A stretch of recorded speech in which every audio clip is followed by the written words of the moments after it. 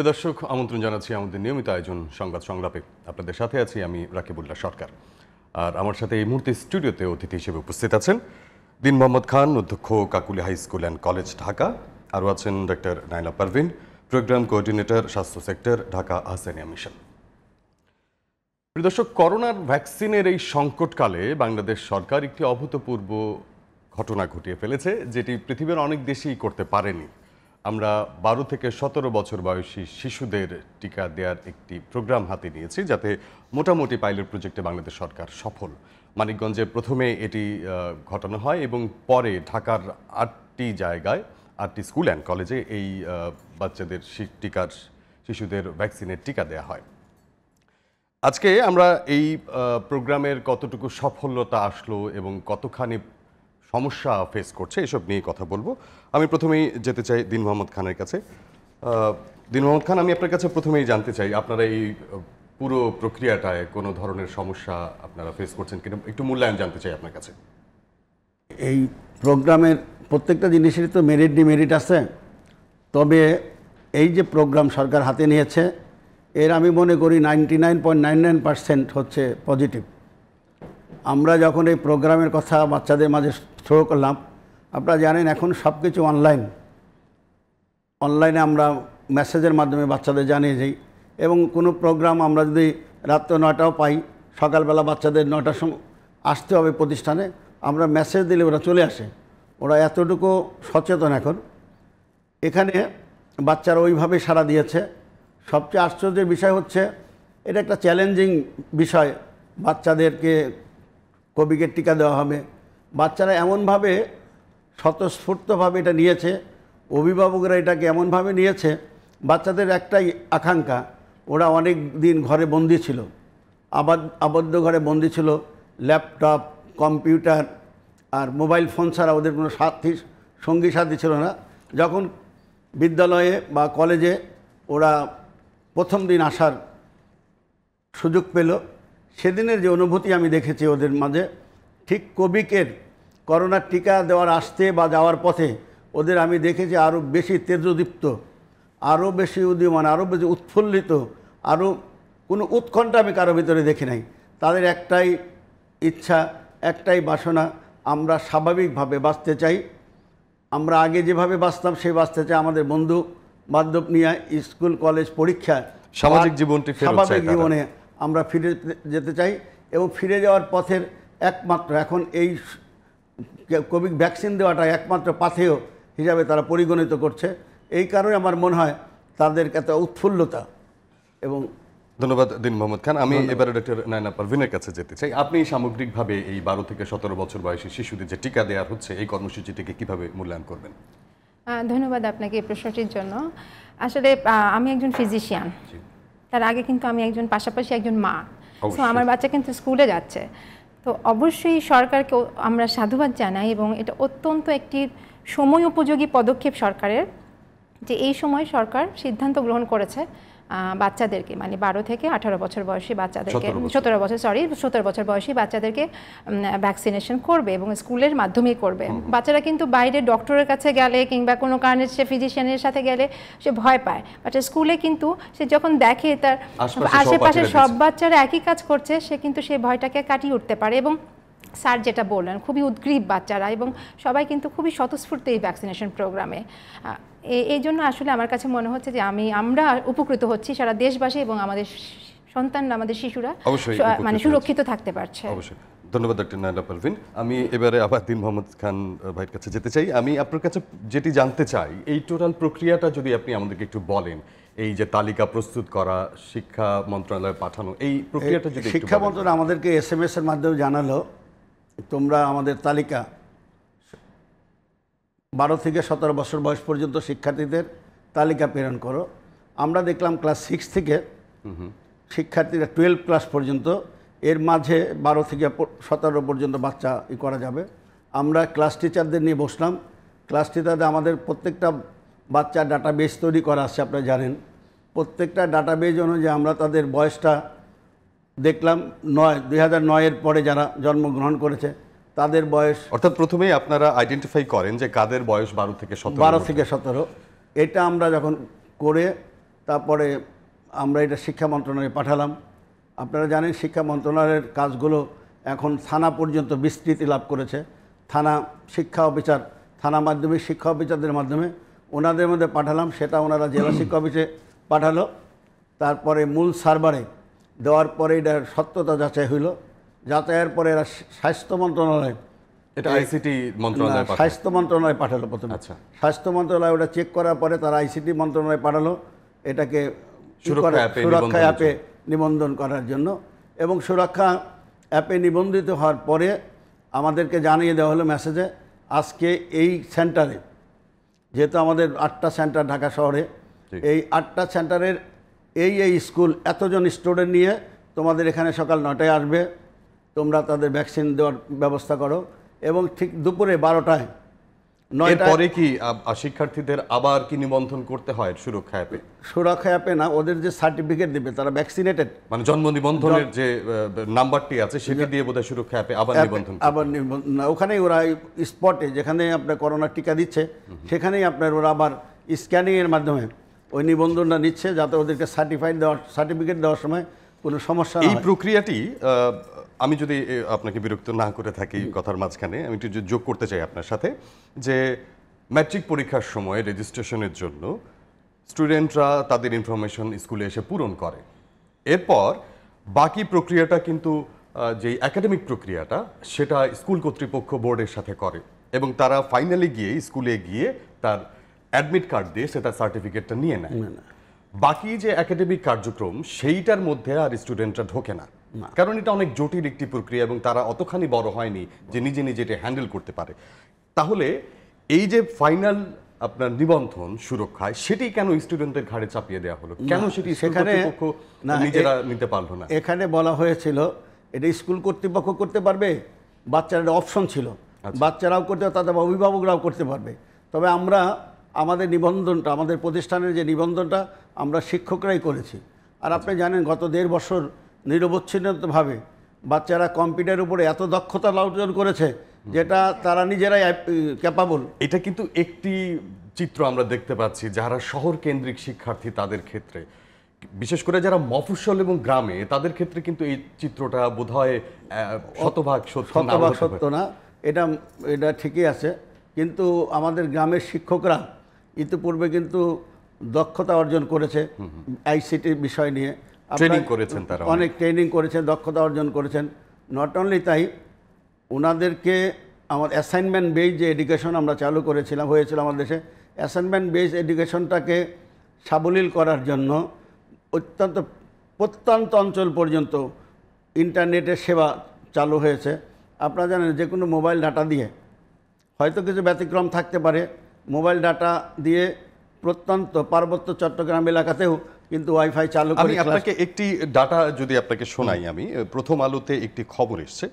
সেখানে জেলা শিক্ষা কর্মকর্তারা সভা করে বারো থেকে সতেরো বছর বয়সী শিক্ষার্থীদের টিকার ব্যাপারে প্রয়োজনীয় দিকগুলো নির্ধারণ করবেন। অর্থাৎ আপনারা আগে যে প্রক্রিয়াটি করেছেন তালিকা প্রস্তুত করার ক্ষেত্রে। এরপরে শিক্ষা প্রতিষ্ঠানগুলোতে টিকা কেন্দ্র স্থাপনের ক্ষেত্রে উপজেলা নির্বাহী কর্মকর্তাদের সহযোগিতা প্রয়োজন হয়। কারণ করোনা টিকার জন্য শীতাতাপ নিয়ন্ত্রিত, নিরবিচ্ছিন্ন বিদ্যুৎ সরবরাহ সংবলিত বিশেষায়িত কেন্দ্রের প্রয়োজন। সিলেটে যে খবরটি আমি আপনাকে বলছি, সেখানে এখনও পর্যন্ত এ ধরনের কোনো কেন্দ্র পাওয়া যায়নি। এটি আমি আপনার কাছে পরে জানতে চাইব। কিন্তু ঘটনা হচ্ছে যেটা, আমি আপনার কাছে যে বিষয়টি জানতে চাই, সেটা হচ্ছে যে এই নিবন্ধনের প্রক্রিয়াটিতে স্টুডেন্টদের যদি সরাসরি সম্পৃক্ত না করা হতো যেহেতু আপনারা প্রথমেই একবার নিবন্ধনের একটি তালিকা পাঠান শিক্ষা মন্ত্রণালয় এবং সেটি আইসিটিতে নিবন্ধন হওয়া- হওয়ার পরই আপনাদের কাছে একটি এস এম এস আসছে। পরবর্তীতে আপনারা সেই অনুযায়ী যদি স্টুডেন্টদের টিকা দিতেন সেক্ষেত্রে কি কোনো ব্যত্যয় ঘটতো সার্টিফিকেট পেতে? এখানে যে সিস্টেমটা সেখানে বাচ্চাদেরকে আমরা যদি সমস্ত বাচ্চাদেরকে একসাথেই করে দিতাম সেখানে ই রাখা হিসাব রাখার আপনার আপনারা তো নিবন্ধন যেটি পাঠাচ্ছেন যে তালিকাটি পাঠাচ্ছেন সেই তালিকাটা তো আপনাদের কাছে থাকছেই। আছে, হ্যাঁ। আপনারা সেই অনুযায়ী বাচ্চাদের যদি সিরিয়াল করে দিতেন তাহলে কি তারা টিকা নিত না? না টিকা তারা নিতই অবশ্যই আপনি জানেন আমাদের ঢাকা শহরে এমন অনেক স্কুল আছে যেখানে বারো থেকে পনেরো হাজার স্টুডেন্ট আছে। জি। আমি এটি কেন জানতে চাইছি আপনার কাছে? ঢাকা শহরে এটি মেনটেন করা খুব সহজ। কারণ এখানকার বাচ্চারা অভিভাবকরা অনেক বেশি প্রযুক্তি নির্ভর এবং প্রযুক্তি বান্ধব। কিন্তু মফস্বল এবং গ্রামের অনেক অভিভাবক আছেন যারা এখনও ফিচার ফোন ইউজ করেন। এখনও ইন্টারনেট সংযোগ অনেকের ফোনেই নেই। তাদের ক্ষেত্রে তো এটি একটা অনেক বড় সমস্যা হতে পারে। এনআইডি প্রকল্প যখন চালু হলো আমাদের গ্রামে থেকে এ পর্যন্ত তখন কিন্তু সরকার এই এনআইডির জন্য স্পেশালি অ্যারেঞ্জ করে তারা কিন্তু মোবাইল ডাটা চালু করেছিল সেখানে। আমার মনে হয় এই পদ্ধতিটা সরকার এখানেও নিবে। এ কারণে আমার মনে হয় মোপরশাল পর্যন্ত কোনো সমস্যা হবে না। আপনি জানেন আপনি মোপরশল এলাকায় যেমন জুনিয়র স্কলারশিপ পরীক্ষা যখন আমরা দিতাম বা এখনও বাচ্চাদের স্কলারশিপ যদি না হয় এই কয়েক বছর তো আপনারা ওই কী বলে মূল্যায়নের উপরে গেল ক্লাস দেড় বছর ইয়ের গেল। আমরা যখন দিতাম তাহলে মনে হতো ঢাকা শহরে একটা থানায় যতগুলি স্টুডেন্ট স্কলারশিপে অংশগ্রহণ করতো একটা ডিস্ট্রিক্টে মফসলে একটা ডিস্ট্রিক্টে তার চেয়ে কম ছেলেমেয়েরা ই করতো স্কলারশিপ পরীক্ষায় অংশগ্রহণ করতো ঢাকা শহরে অনেক স্কুল আছে যে স্কুলগুলোতে যে ছাত্র সংখ্যা আসে হয়তো সমস্ত উপজেলাতেও গ্রামের ওই যে আপনি যেটা বললেন। মৌলভীবাজার বা ইয়ের।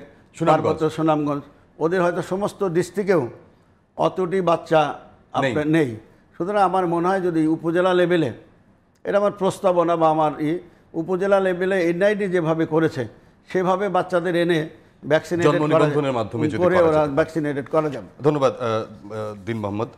আমি এবার ডক্টর নাইলামের কাছে যেতে চাই। আপনার কাছে আমি যেটি জানতে চাই আমরা শুধুমাত্র ফাইজারের অনুমতি অনুমতি পেয়েছি বিশ্ব স্বাস্থ্য সংস্থার কাছ থেকে। কারণ হচ্ছে আমরা মনে করছি এটি বাচ্চাদের জন্য নিরাপদ।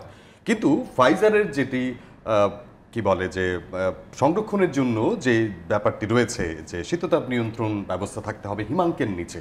সেটি ঢাকা শহরে হয়তো সম্ভব সম্ভব বলেই আমরা আটটি জায়গায় এটি করতে পারছি।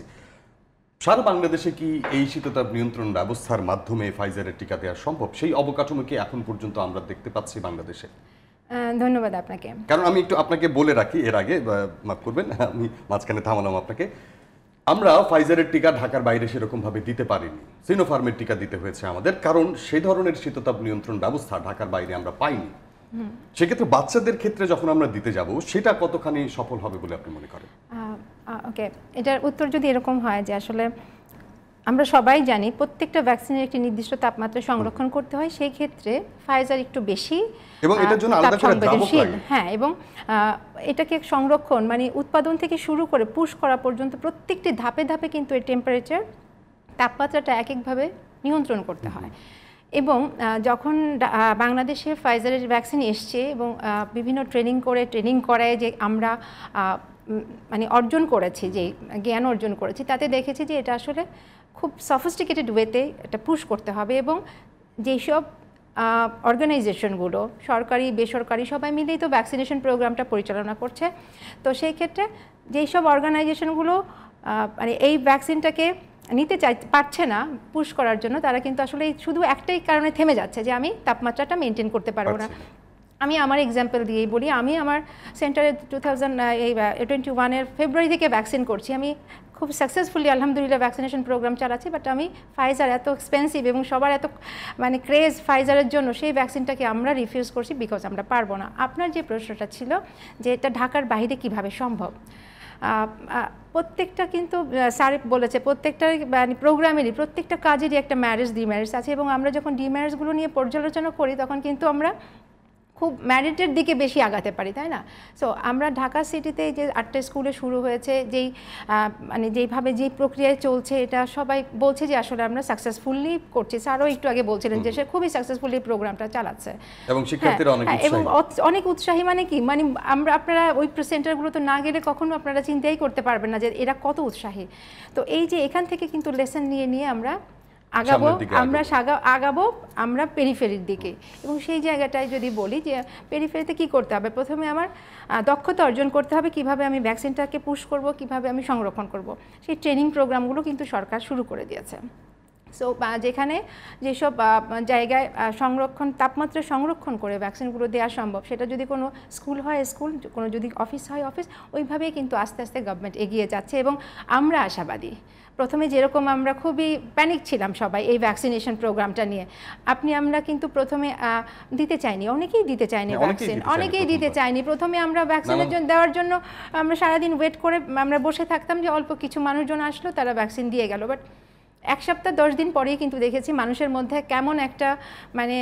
উদ্দীপনা কাজ করছে। সো প্রোগ্রামটা সাকসেসফুলি চলছে এবং আমি মনে করি গভর্নমেন্ট যদি সঠিক পদক্ষেপ এতদিন পর্যন্ত যেভাবে নিয়েছে ওরকম করে যদি পদক্ষেপ নিতে থাকে আমরা বাংলাদেশের সব বাচ্চাদেরকে কভার করতে পারব অবশ্যই আমরা আশা করি এবং নিশ্চয়ই চাই।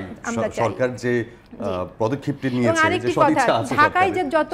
ডেন্সিটি বেশি কিংবা স্কুল অনেক বেশি স্যার যেভাবে বললেন যে গ্রামে তো এরকম না সেই ক্ষেত্রে কিন্তু আমাদের ওই পেরিফেরিতে মানে আমাদের শিক্ষার্থী কম কিন্তু সেই তুলন- ঢাকার তুলনায় আমাদের ফ্যাসিলিটিসগুলো ফ্যাসিলিটিসগুলো আমাদের নাই। এবং সবচেয়ে মজার কথা যেটা আমি যেভাবেই বলি না পেরিফে মানে আরবান কিন্তু মানে আমার ঢাকা সিটি কিংবা সেন্টার থেকে কিন্তু আমার পেরিফেরি বা রুরাল এরিয়ায় আমার ইপিআই কভারেজ বেশি বাচ্চাদের এবং খুবই সাকসেসফুল তো সেই ক্ষেত্রে আমরা মনে করি ওটাও সাকসেসফুল করতে পারব যদি আমরা আমাদের একটু মাথায় রাখতে হবে। ঢাকা যেরকম ভাবে সংস্কার মুক্ত ঢাকার অভিভাবকরা যেভাবে সংস্কার মুক্ত লোকালি কিন্তু গার্জেনরা অতখানি সংস্কার মুক্ত না। এখনও অনেকের মধ্যে এই কুসংস্কার কাজ করছে যে করোনার টিকা নেওয়া যাবে না। বা নিতে হবে না। নিতে হবে না। আমাদের অ- এসব আমাদের হবে না এটা অন্য ধরনের অসুখ আমি এবারে দিন মোহাম্মদ খানের কাছে যেতে চাই। আপনার কাছে আমি যেটি জানতে চাই শিক্ষামন্ত্রী বলেছেন যে এই সতেরো বারো থেকে সতেরো বছর বয়সী যারা আছেন তাদের টিকার ক্ষেত্রে যারা এসএসসি পরীক্ষার্থী বা সমমান পরীক্ষার্থী তাদের অগ্রাধিকার দেওয়া হবে। আমার কাছে যে উপাত্ত আছে বাংলাদেশে এখন শিক্ষার্থী এক কোটি পঁচিশ লাখ। তার মধ্যে এবার এসএসসি এবং সমমান পরীক্ষা দেবে বাইশ লাখ কিছু বাইশ লাখের কিছু বেশি। এবং আমার, আমাদের কাছে এখন যা টিকা আছে ফাইজারের সেটা ষাট লাখ। দ্বিতীয় ডোজ সহ আমাদের কাছে টিকা আছে ত্রিশ লাখ। তো এটা কি করে সম্ভব এই সামনে চোদ্দ তারিখে এসএসসি এবং সমমান পরীক্ষা? আপনারা জানেন, এটা একটা মাস্ট, মাস্টার প্রকল্প। আমরা এখানে থেকে শুরু করেছি আর কি। এই প্রকল্পের মাধ্যমে আমাদের যে তথ্যটা, বাচ্চাদের যে তথ্যটা আমাদের সরকারের কাছে আছে, আমাদের মন্ত্রণালয়ের কাছে আছে, আমি যেটা গত দুই দিনের দেখলাম, ওই আমাদের মন্ত্রণালয় থেকে যাদেরকে পাঠানো হচ্ছে, তারা শুধু এসএসসি পরীক্ষায় অংশগ্রহণ করবে তাদের শুধু এসএসসি পরীক্ষা যারা অংশগ্রহণ করে, বাকি ক্লাসগুলো খুব কম, দুই একজন হয়তো অ্যাক্সিডেন্টালি আসতেছে, বাকি সবই এসএসসি বিভিন্ন স্কুল, কলেজের এইচএসসি এবং এসএসসি পরীক্ষার্থী। সেহেতু শহরগুলোতে আমার মনে হয় যে পাইলট প্রকল্প নিয়েছে এটা তো পাইলট প্রকল্প বলব আমরা। এখন পর্যন্ত। এখন পর্যন্ত। এই পাইলট প্রকল্প যে শহরের আমার মনে হয় এসএসসি পরীক্ষার্থীর এইচএসসি পরীক্ষার্থীর সকলকেই এই টিকার আচ্ছা, আওতা আমি আরেকটি বিষয় যদি আপনার কাছে জানতে চাই আপনার কাছে যদি জানা থাকে কেন বাইশটি শহর পছন্দ করা হলো? কেন চৌষট্টিটি শহর পছন্দ করা হলো না? কেন বাইশটি শহর করার কারণটা কি? আপনি জানেন শহরে তো মানুষের পপুলেশনের ডেন্সিটিটা খুব বেশি। এখানে সংক্রমণের ঝুঁকিটাও কিন্তু অনেক বেশি। অবশ্যই। হ্যাঁ গ্রামে যেমন একটা মানুষের সাথে আরেকটা মানুষের বাড়িগুলো থেকে শুরু করে অনেক ডিস্টেন্সে একটা বাড়িঘর আছে। আর এত মিলামেশার কোনো স্কোপ সেখানে কম। আর এখানে আপনি ঘর থেকে বেরোলে তো লক্ষ লক্ষ মানুষের সাথে আপনারই হচ্ছে। সুতরাং মনে হচ্ছে এই ঘনত্বের কারণেই এই বাইশটি জেলা বাইশটি জেলাকে অগ্রাধিকার দেওয়া হয়েছে সম্ভবত। কিন্তু এটা কি সম্ভব? এই চোদ্দ তারিখে যেহেতু এসএসসি পরীক্ষা শুরু হচ্ছে এই অল্প সময়ে এদেরকে টিকা দেওয়া সম্ভব? বাইশ লাখ আমি আমি নিরাশ হই নাই। আমি আশাবাদী মানুষ। যেভাবে আমাদেরকে একদিনে নোটিশে আমরা কিন্তু একদিনে নোটিশে আমাদের বাচ্চাদের এবং সেটা আমার মনে আছে বৃহস্পতিবার বিকেলে হয়তো আমরা নোটিশটা পেয়েছিলাম শুক্রবার শনিবার বন্ধের দিনেও আমরা কিন্তু এটা সাবমিট করেছিলাম একদিনের মধ্যে বাচ্চাদের লিস্টটা। সরকার একদিনের মধ্যেই স্বাস্থ্য মন্ত্রণালয়কে দিয়েছে স্বাস্থ্য মন্ত্রণালয় একদিনের মধ্যেই দেখুন আমরা আইসিডি ডিপার্টমেন্টকে দিয়েছে। আর সরকারের সদিচ্ছা নিয়ে আমাদের কোনো সন্দেহ নেই। অবশ্যই এটি একটি অনেক শুভ উদ্যোগ। বাচ্চাদের টিকা দেওয়া যেহেতু তারা স্কুলে যাচ্ছে কলেজে যাচ্ছে অবশ্যই তাদের টিকা দেওয়া উচিত তাদের স্বাস্থ্য ঝুঁকি যতখানি কমানো সম্ভব। যে কারণে আমরা দেড় বছর স্কুল খুলিনি কারণ তাদের জীবন আমাদের কাছে অনেক বেশি মূল্যবান। কিন্তু আমরা ভার্সিটি লেভেলে যেটি দেখেছি যে ভার্সিটি খুলে দেওয়ার আগেই সব টিকা দেওয়ার কথা ছিল কিন্তু নানান ধরনের সমন্বয়হীনতার কারণে আমরা দিয়ে শেষ করতে পারিনি। সেক্ষেত্রে এসএসসির মতো একটি পরীক্ষায় যেখানে শিক্ষার্থীদের একজনকে আরেকজনের পাশে থাকতেই হবে, সেই জায়গায় কতখানি আমাদের জন্য এটি ভয়াবহ হতে পারে? আপনি একটা জিনিস কি দেখেছেন? আমাদের যে সিটের অ্যারেঞ্জমেন্ট, এসএসসি পরীক্ষায় যে সিট প্ল্যানটা করা হয়েছে, সেখানে কিন্তু একটা বেঞ্চ পর পর একটা বেঞ্চ পর পর একজনের সিট পড়েছে। আগে কিন্তু আমরা প্রতি ছয় ফিট বেঞ্চে তিনজন তিনজনের সিট নিতাম। এখন দুইটা বেঞ্চে ছয় ফিটে মানে তিনজনের ছয়জনের পরিবর্তে সিট পড়বে দুইজনের মাত্র। দুইজনের মাত্র। এই কারণে ওরা যদি ইচ্ছা করে মেলামেশা না করে তাহলে ওদের এত ডিস্টেন্স মেনটেন করে আমরা কিন্তু এর বিপরীত চিত্রটা দেখতে পেয়েছি শুরুর দিকে। কীরকম? স্কুলে বা কলেজে তারা স্বাস্থ্যবিধি মানছে।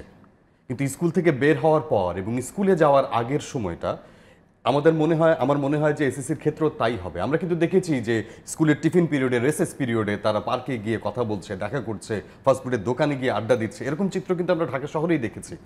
ম্যাট্রিক পরীক্ষা দুঃখিত এসএসসি পরীক্ষার সময় কিন্তু আমার মনে হয় যে এটা হওয়ার সম্ভাবনা অনেক বেশি, বিশেষ করে মফস্বলে, যেখানে মানুষ স্বাস্থ্যবিধি ন্যূনতমভাবে মানে না। ঢাকা শহরে তবু ন্যূনতমভাবে মানুষ স্বাস্থ্যবিধি মানে।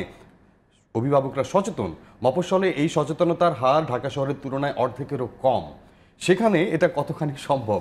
এটাই আমার একটি জানার বিষয়। না এখানে যে বিষয়টা শহরে দেখেন ওই অভিভাবকদের কিউরিসিটিটা একটু বেশি থাকে।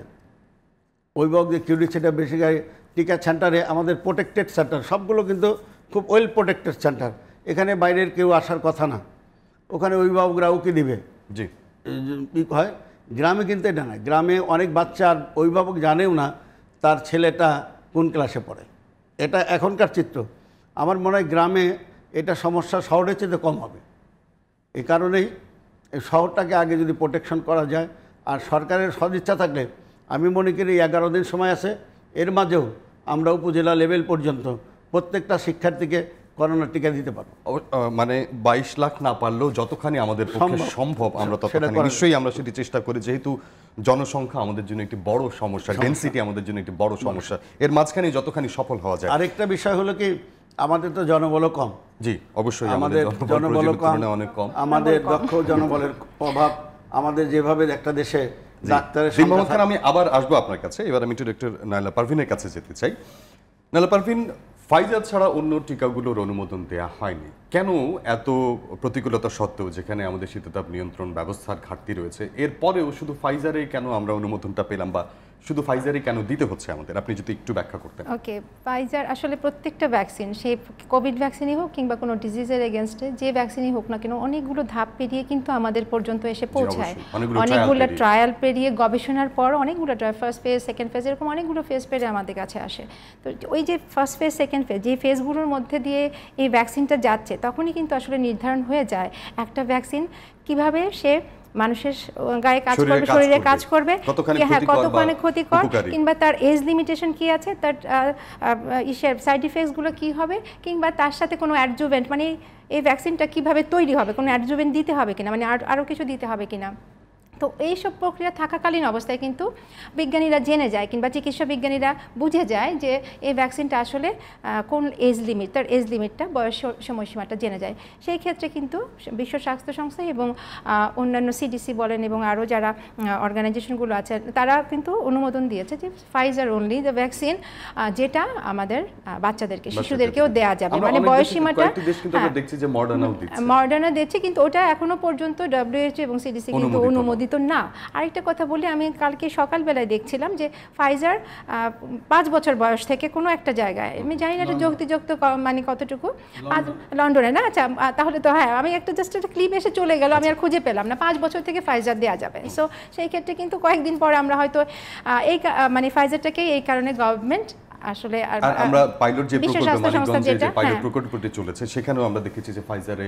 রিঅ্যাকশনটা অনেক কম অনেক কম মানে সব ভ্যাকসিন এই পর্যন্ত বাংলাদেশে যে চার ধরনের ভ্যাকসিন দেওয়া হয়েছে সবারই রিয়াকশন একদম মোটামুটি হ্যাঁ, আমার আমি একটি জিনিস আপনার কাছে জানতে চাই যে এই যে আমরা এসএসসি এবং সমমান পরীক্ষার্থীদের ভ্যাকসিন এখন দিতে চাচ্ছি আমি যতদূর জানি বা মানিকগঞ্জের এই প্রকল্পের পরে আমরা যেটা দেখেছি কমপক্ষে তিন দিন এটির একটি প্রভাব থাকে। মাথা ব্যথা, জ্বর, বমি হওয়া, এই প্রভাবটা থাকে। এই মুহূর্তে কি আমাদের এসএসসি পরীক্ষার্থীদের এইটা দেওয়া উচিত ছিল বা দরকার ছিল? কারণ এটি একটি প্রভাব পড়বে মনে হচ্ছে। আপনার এই প্রশ্নটা আমার কাছে আসলে খুবই অবাক করা প্রশ্ন মনে হলো। ঠিক আছে কেন অবাক করা প্রশ্ন মনে হলো? আপনি আমি জানি না আসলে যখন এই বাচ্চাদের ভ্যাকসিন দেওয়া শুরু হয়েছে শুনে কিন্তু আমরা আনন্দিত হয়েছি। আনন্দিত হয়েছি। যে আমাদের বাচ্চারাও সিকিউর থাকবে। একটা ফ্যামিলিতে মা বাবা ভ্যাকসিনেটেড বাট বাচ্চারা ভ্যাকসিনেটেড না তারা বাইরে গেছে তারা কোনোভাবে সংক্রমিত হয়ে এসে বাচ্চাদেরকে এফেক্টেড করে ফেলছে এরকমও ইতিহাস আছে। তো সেই ক্ষেত্রে যেটা বলেছেন যে সাইড ইফেক্টের কথা সাইড ইফেক্টগুলো কিন্তু খুবই মাইনর হ্যাঁ? খুবই মাইনর একটু জ্বর হবে মাথা ব্যথা হবে কিংবা টিকার জায়গা ফুলে যাবে লাল হয়ে যাবে। সো এই মাইনর সাইড ইফেক্টের জন্য আপনি এত একটা ভাস্ট প্রোগ্রামকে কেন ডিসকারেজ করব? অবশ্যই আমি ঠিক আছে ডিসকারেজ করছি আমরা সাধুবাদ জানাই। আপনার কি মনে হয় না যে এটা বোধহয় আরেকটু আগে নিতে পারলে আমাদের জন্য অনেক ডেফিনেটলি আরেকটু আগে এই যে বলেছে একটু আগে যেটা এই টিকাটা আসলে সবচেয়ে বেশি কি বলব? লাক্সারি টিকা। হুম। এই ভ্যাকসিনটা আমরা বলি যে এসি ভ্যাকসিন আমরা অনেক সময় ব্যঙ্গ করে বলি এটা এসি ভ্যাকসিন কারণ এটা এসির মধ্যে থাকতে হ্যাঁ, হয়। সো আমাদের দেশের অনেক জনবহুল দেশ একটা কিন্তু আমাদের দক্ষ জনবল অনেক কম। এই ভ্যাকসিনটাকে আর এই ডিজিজটা তো সারা পৃথিবীর জন্য একটা নতুন কিছু। হ্যাঁ, সো এটা সম্পর্কে জানাই ভ্যাকসিন সম্পর্কে জানা হাউ টু পুশ ইট মানে কীভাবে এটা পুশ করব কিংবা কীভাবে সংরক্ষণ করব এগুলো তো জানাতে সময় লাগছে তাই না? সো আমাদের সবাইকে একসাথে কাজ করতে অবশ্যই আমরা সবাই একসাথে কাজ করতে চাই এবং এই প্রকল্পটি সফল হোক এটা আমরা মনে প্রাণে চাই। কারণ বাচ্চাদের জীবন সবার চেয়ে বেশি মূল্যবান আমাদের কাছে। আমার যেটি আপনার কাছে জানার ছিল যেহেতু একদমই সামনে এসএসসি পরীক্ষা সেই কারণে আমি আপনাকে প্রশ্নটি করেছিলাম যে এটি তাদের পড়াশোনায় কোনো ধরনের প্রভাব ফেলবে কিনা মানে যেহেতু আমি বলি আমরা বলি অনেক সময় সবাই কোশ্চেন করে যে জ্বর হলে কি করব মাথা ব্যথা হলে ফুলে গেলে কি করব এরকম অনেক মানে সিনিয়র যারা সিনিয়ররা আসেন আমাদের কাছে অ্যাডাল্টরা তখন আমরা বলি যে প্যারাসিটামল কিংবা না পায়েস কিছু খেয়ে নেবেন আর কিচ্ছু করার দরকার নেই। ম্যাক্সিমামই কিন্তু আমরা এইটা দিই যে কিছু করার দরকার নেই। জ্বর হয়েছে মানে ভ্যাকসিন কাজ করছে। আর বাচ্চারা যেহেতু বেশি ইয়াং ঠিক আছে? সো তাদের আসলে আমার মনে হয় আমি এখনও স্কুল প্রোগ্রামের সাথে জড়িত না তো রিকভার রেটটা তাদের হয়তো বেশি তারা এগুলো কোনো মাথায় নিবে না যে এটা আমার কোনো ক্ষতি করতে পারে তবে ওই ক্ষতিটি করছে আমার কাছে মনে হয় যে ভ্যাকসিনটা দেওয়াটা খুবই জরুরি অবশ্যই এখনকার সময়ের জন্য আহ, দিন মোহাম্মদ খান আমি আপনার কাছে যেটি এর আগে জানতে চেয়েছিলাম আপনার কাছে কি মনে হয় যে এই টাইম ফ্রেমটি আমাদের জন্য একটু অসময় হয়ে গেল আর একটু আগে শুরু করতে পারলে আমি। যতটুকু যদি আপনি মনে করেন এর কোনো পার্শ্ব প্রতিক্রিয়া প্রতিক্রিয়া হবে এটা বাচ্চারা সাফার করতে পারে এই কারণে আমার যতটুকু জানি আজকে সেটা দশ তারিখের পূর্বেই। অর্থাৎ তিন দিন পরীক্ষার তিন চার দিন আগেই বা এই 14 তারিখের তিন দিন আগে তিন দিন বা চার দিন পাঁচ দিন আগেই এই প্রোগ্রাম শেষ হবে আর কি। সেইভাবে সরকার সম্মত পদক্ষেপ নিয়েছেন। যে কারণে পরের আর ইরিক্স আর গতকালকার যে যারা ভ্যাকসিন নিয়েছে আমি ম্যাক্সিমাম ক্লাস টিচারের সাথে কথা বলেছি তারা বলছে না স্যার ওই রকম কিছু মানে যেমন আমাদের মডার্না দিয়েছিলাম আমরা আমি ব্যক্তিগতভাবে আমার কিন্তু প্রথমবার যেবার দিলাম তিন দিন জ্বর ছিল। দ্বিতীয় টাইমে দুই দিন জ্বর ছিল। বাচ্চাদের এই আমরা মোটামুটি যারা প্রাপ্তবয়স্ক তারা সবাই একটু সাফার করেছে। ভ্যাকসিন নেওয়ার ফলে কিন্তু বাচ্চাদের তেমন কিছু হয় না একটু ব্যথা ট্যাথা ছিল ওই নাপা দিয়েছে ঠিক হয়ে গেছে আর কি। আজকেও তাই আমার মনে হয় সরকার সর্বোচ্চটুকু দেখেছে। যেহেতু এটা ওই সর্ব সবচেয়ে উত্তম টিকা বাচ্চাদের যে রিস্ক দিতে চায় না সরকার। অন্য যে কোনো অ্যাভেলেবল যে টিকাগুলো অন্যান্য টিকাগুলো দিত সেখানে হয়তো রিস্ক থাকতো। কিন্তু যেহেতু এটা প্রায়ই পার্শ্ব প্রতি- প্রতিক্রিয়াবিহীন একটা টিকা এর জন্য বাচ্চাদের কাছ থেকে যেহেতু পাইলটিং প্রকল্প এটা দিয়েই ট্রাই করেছে না বাচ্চাদের প্রবলেম আমরা ফেস করছি সেটা দেখা এটা এবং দেখার কি কি সমাধান এবং এর জন্য হয়তো ফাইজারের দিকে সরকারের নজর পড়েছে। হ্যাঁ এবং সরকার আসার কথা যে সরকার সামনে হয়তো ফাইজারের আরও টিকা পাবে যেটি বাচ্চাদের জন্যই মোটামুটি বিশেষায়িত করা হয়েছে। এর বাইরে এখন দেয়া হচ্ছে কম ফাইজারের টিকা। যারা প্রথম ডোজটি নিয়েছে তাদের কথা আলাদা। তাদের ক্ষেত্রে হয়তো দ্বিতীয় ডোজটি দেওয়া হবে। এর বাইরে নতুন করে হয়তো বাচ্চাদের আগে আর আর- কাউকে দেওয়া হবে না। আরেকটি বিষয় আপনার কাছে জানার ছিল সেটি হচ্ছে যে শিক্ষার্থীদের এই নিবন্ধনের ক্ষেত্রে জন্ম নিবন্ধন সনদ একটি বড় ব্যাপার হয়ে দাঁড়িয়েছে। অনেকের ক্ষেত্রেই জন্ম নিবন্ধন সনদ নেই বা সময় মতো তারা নেয়নি অনেকের ক্ষেত্রে অকার্যকর। সেক্ষেত্রে আসলে কি ধরনের পদক্ষেপ নেওয়া হচ্ছে এখন? এখানে আপনি যেটা জানেন যখন ওরা পিএসসি পরীক্ষা দেয় মানে প্রাথমিক শিক্ষার সমাপনী পরীক্ষা দিয়েছে তখন কিন্তু ওদের জন্ম নিবন্ধনটা মার্চ ছিল। আর যেহেতু এটা ক্লাস সিক্স থেকে শুরু হয়েছে তাহলে ওদের জন্ম নিবন্ধন সবারই আছে। এখন একটা প্রবলেম হয়েছে এই জন্ম নিবন্ধনটা ডিজিটাল না অ্যানালগ আচ্ছা। আপনি জানেন কি না আমাদের গ্রাম পর্যায়ে পর্যন্ত ইউনিয়ন পরিষদে এখন জন্ম নিবন্ধন ডিজিটাল ডিজিটাল মানে সতেরো ডিজিটাল যেটা কম্পিউটার রিড করতে পারে। হ্যাঁ কিছু কিছু ডেটাবেজে যেটি আছে। ডেটাবেজে যেটা আছে রিড করতে পারে। কিছু কিছু ক্ষেত্রে আছে মানুষ তো ব্যতিক্রম থাকবেই।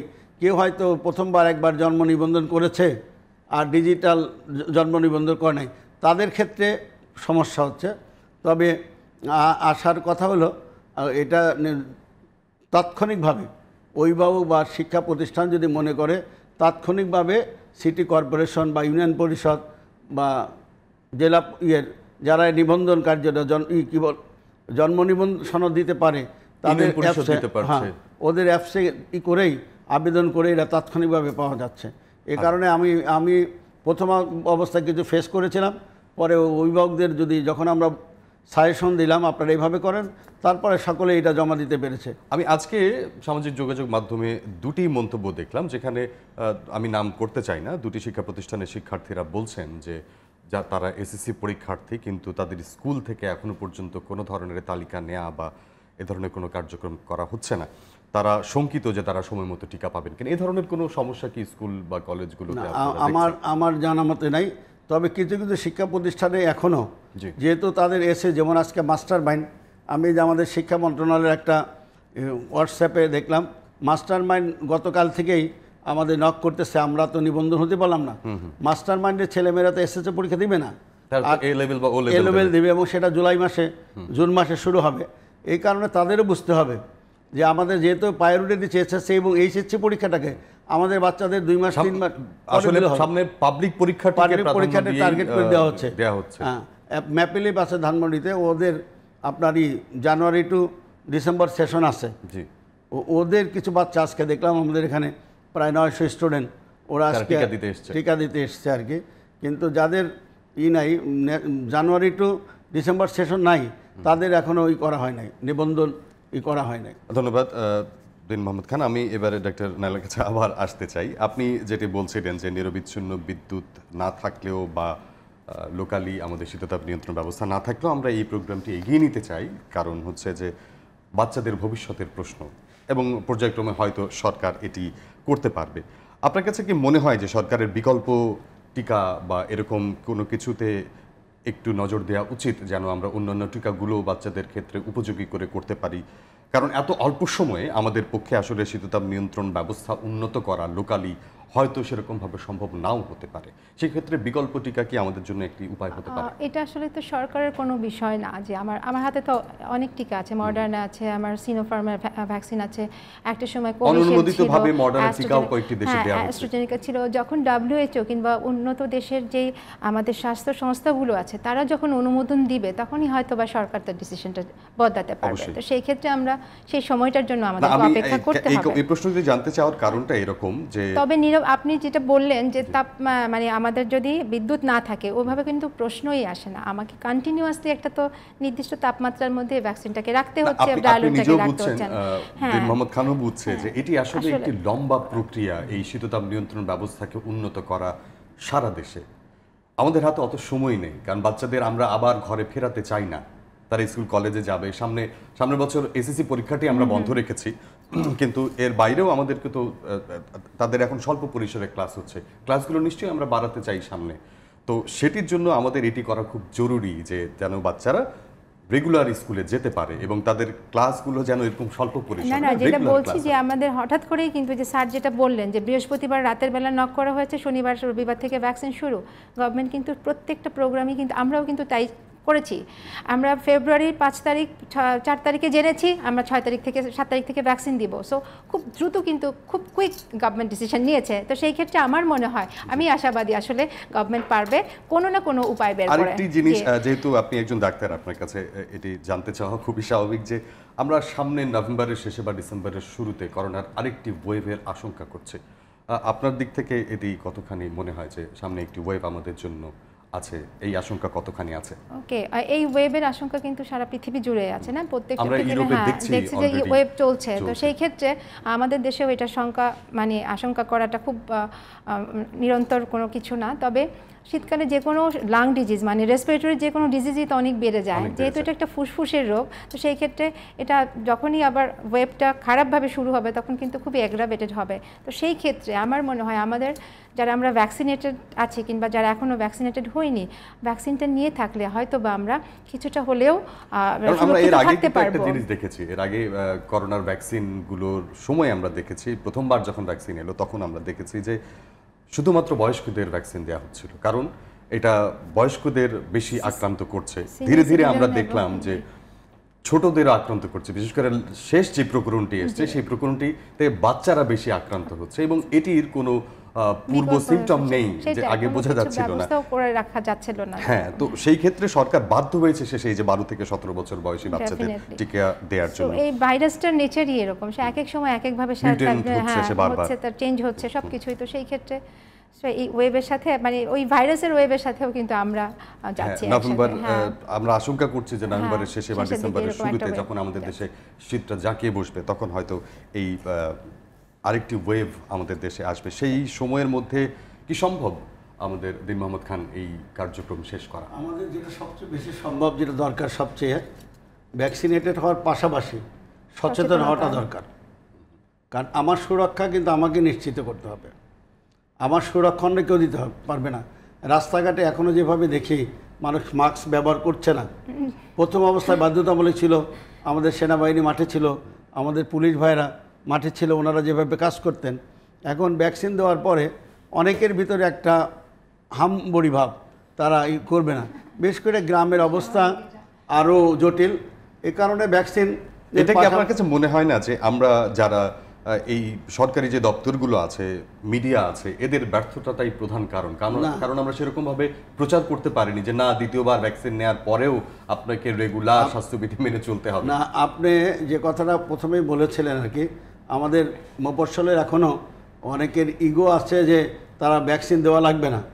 অনেকেই কিন্তু গা ভাসিয়ে চলে। গা ভাসিয়ে চলে যে না এটা লাগবে না কোনো ব্যাপারই না। আর এটা শুধু ধনীদেরই রোগ এটা গরিবকে পাবে না।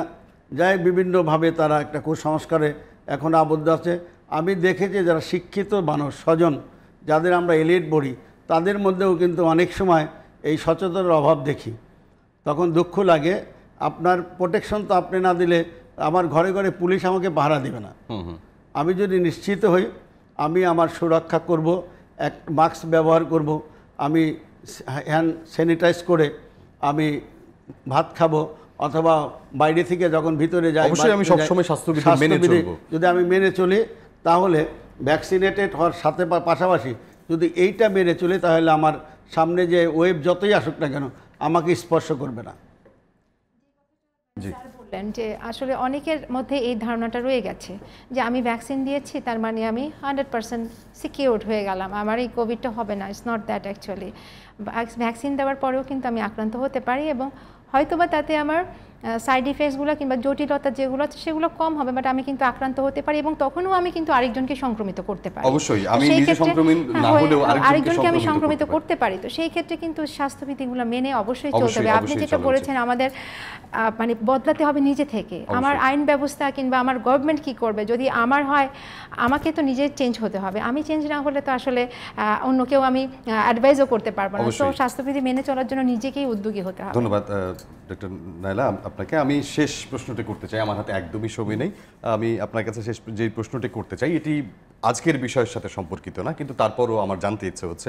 গতবারের তুলনায় এবার বোধহয় এসএসসি বা সমমান পরীক্ষার্থী কিছুটা বেড়েছে। আহ, আমরা একটা আশঙ্কা করছিলাম এবং পেপার পত্রিকায় কিছু উপাত্ত আমরা দেখেছিলাম যে এবারে মেয়ে শিক্ষার্থীর পরিমাণ গতবারের তুলনায় একটু কম বা ঝরে যাওয়ার পরিমাণটা একটু বেশি। আপনারা কি এই ধরনের কিছু বাস্তবতা দেখতে পাচ্ছেন? আপনি জানেন বিগত দিনে আমাদের টেস্ট পি টেস্ট পরীক্ষা হতো স্কুলগুলোতে। গতবার আঠারো লাখ ছিল এবার বাইশ লাখ পরীক্ষার্থী। হ্যাঁ। আমাদের পি টেস্ট পরীক্ষাগুলো হতো। জি। টেস্ট পরীক্ষা হতো এখানে কিন্তু ছাটাই হতো ছেলে মেয়েদের ছাঁটাই হতো। এবং টেস্ট পরীক্ষার খাত মূল্যায়নপত্র এক বছর সংরক্ষণ করা লাগতো। কারণ এসএসসি পরীক্ষায় পি টেস্টে পেস্ট টেস্টে খারাপ করে এসএসসি পরীক্ষা ভালো ফল করবে তখন দেখা যাবে আবার এসএসসি খারাপ করে ফেলছে। তখন তো- যেহেতু সরকার বলেছে এসএসসি টেস্ট পরীক্ষায় বা নির্বাচনী পরীক্ষায় কোনো বিষয়ে ফেল করলে তাকে এসএসসি পরীক্ষায় অংশগ্রহণ করতে দেওয়া যাবে না। এই ভীতিটা কিন্তু এবছর ছিল না। যেহেতু পরীক্ষা ছিল না রেজিস্ট্রেশন যাদের ছিল সকলেই তারা পরীক্ষা দিয়েছে। এবার এসএসসি পরীক্ষা ফর্ম ফিল আপ করেছে কার পরীক্ষার বাধা যেহেতু ছিল না, ছিল না। কারণে সবাই অংশগ্রহণের সুযোগটা সুযোগ। তাকে তো কাউকে আমি বারণ করতে পারি নাই। আমি যে ছাঁটাই করব ছাঁটাইয়ের কোনো স্কোপ ছিল না। দুই নম্বর হলো গ্রামে মেয়েদের সংখ্যা কমে গেছে এই বছর আপনি জানেন কি না আপনারা এই দেড় বছরে অনেক বাবা বাল্য বিবাহ তার সন্তানকে মেয়েদেরকে বিশেষ করে বাল্য বিবাহ দিয়েছে। এই কারণে অনেক মেয়ে ঝরে গেছে। কিন্তু শহরে অভিভাবকরা একটা চান্স নিয়েছে এবং স্টুডেন্টরা মনে করেছিল আর পরীক্ষা হবে না গতবারের মতো অটো পাস হয়ে যাবে। অটো পাস দিয়ে দেবে এই কারণেই ওরা আমাদেরকে প্রেশার ক্রিয়েট করে অনেকটা তারা ফর্ম ফিল আপ করেছে। আর যেভাবেই হোক দিন মোহাম্মদ খান আমি আমাদের জন্য এটি তথ্যটা- একটি ভালো জিনিস যে শিক্ষার্থীরা পরীক্ষা দিচ্ছে। শিক্ষার সাথে সম্পৃক্ত আছে। হয়তো তারা ফলাফল খারাপ করবে সচেতন হবে এরপরে কিন্তু তারা পড়াশোনার সাথে সম্পৃক্ত আছে এটাই আমাদের জন্য সবচেয়ে ভালো বিষয় দেড় বছরের মধ্যে। ধন্যবাদ আপনাদের দুজনকে আমাদের সাথে যোগ দেওয়ার জন্য। ধন্যবাদ আপনাকে জিটিভিকে বা আজকে যারা দর্শক তাদেরও ধন্যবাদ। থ্যাংক প্রিয় দর্শক এই ছিল আমাদের আজকের আয়োজন। সরকার একটি অত্যন্ত ভালো উদ্যোগ নিয়েছে। প্রায় দেড় বছর আমরা শিক্ষা প্রতিষ্ঠান বন্ধ রেখেছিলাম এই কারণে যে শিক্ষার্থীদের জীবনের মূল্য অন্য অনেক কিছুর চেয়ে আমাদের কাছে বেশি। এবং এই কারণেই সরকার বারো থেকে সতেরো বছর বয়সী শিক্ষার্থীদের এখন টিকা দিচ্ছে, যেখানে পৃথিবীর অনেক দেশেই প্রাপ্তবয়স্করা টিকা পায়নি। সরকারের এই উদ্যোগ সফল হোক, এই প্রত্যাশাই আমরা করি। শুভরাত্রি।